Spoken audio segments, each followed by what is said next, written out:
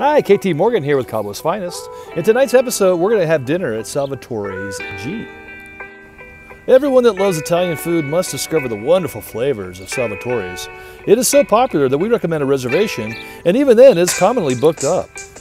Tim Galluzzo, the happy owner, has added a second restaurant, Salvatore's G.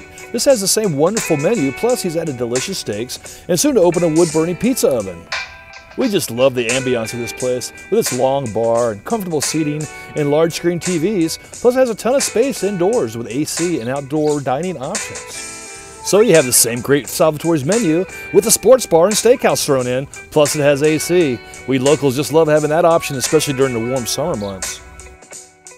They're currently remodeling the back patio, adding another bar and a wood-burning pizza oven. Salvatore's G offers nightly specials and can handle special events, and they provide catering. So we placed our orders and enjoyed a round of margaritas. The friendly waiters let us sample some well-priced wines to pair with our order.